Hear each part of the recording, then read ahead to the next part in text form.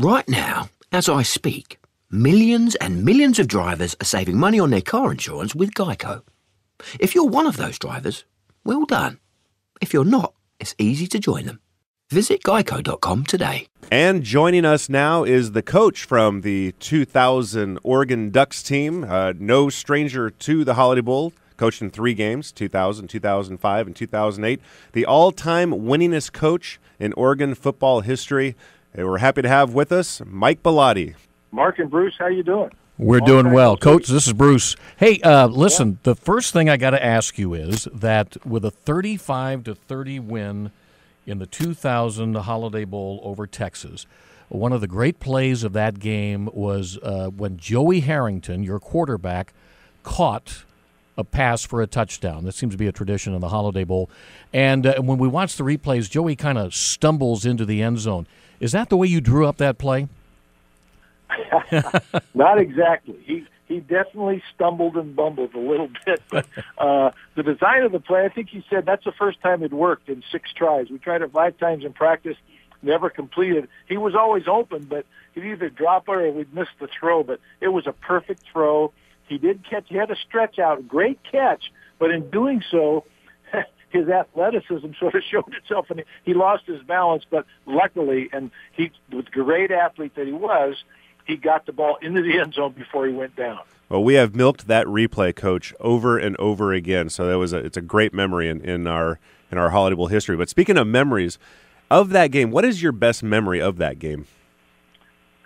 Uh, my best memory is that we won, despite the fact that they were throwing the ball in the end zone. I think the last three plays of the game, um, and I think you know I, I think they didn't quite catch it as well as they'd like at the end, and our DBs like to claim that they they had a big influence on that. But you know there was there was a lot of plays in that game, just so much fun. Uh, Joey's obviously was one of the the signature moments for it, but I know that uh, Maurice Morris had a long reception for a touchdown, and we had some interceptions, and Rashad Bauman did some great things on defense uh, coming off the edge on a corner blitz and then made some other plays. But just, you know, just the the momentum I think that we gained, you know, beating a great Texas program that had been in something like 40 bowl games in their history. And I think the Ducks by that time had been to 15 or 16, I'm not sure. But it was great. It, it sort of kept our momentum going. We won nine games year before, 10 games that year, 11 games the next year. And certainly that win over Texas was a big springboard for our program. And we're highlighting that game, the 2000 game where Oregon beat Texas 35 to 30, is one of our greatest games in the now going on 35 year history of the Bridgepoint Education Holiday Bowl. But coach, you also in 05 uh, you you uh, lost a heartbreaker to Oklahoma 17 to 14. It was a three point game, and then in 2008 uh, a 42-31 win over Oklahoma State, which that game was closer than the score indicated. So Oregon likes to play close games in the Holiday Bowl.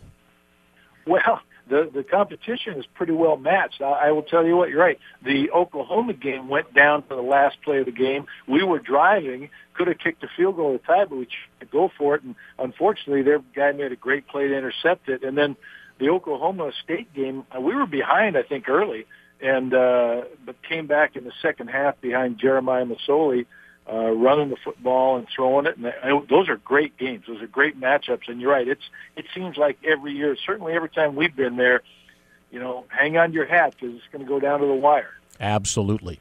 So, Coach, what are you up to now?